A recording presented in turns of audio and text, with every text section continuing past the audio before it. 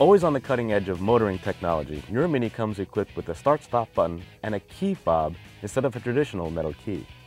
Now at first this may seem confusing or different, but you'll see that it's no sweat to turn your Mini off or on.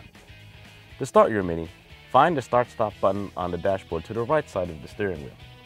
Slide the key fob horizontally into the slot below it, and you should feel it click into place. Now before you push the button, make sure that your clutch pedal is depressed if you have a manual transmission Mini, or the brake pedal is depressed if you have an automatic. Once you're done doing this, you're free to press the start stop button and your Mini will roar to life.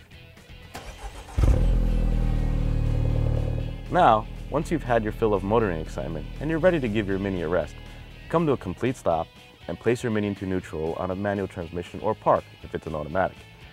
Press the start stop button once and your Mini will automatically turn off. As a precaution, pull up on your handbrake.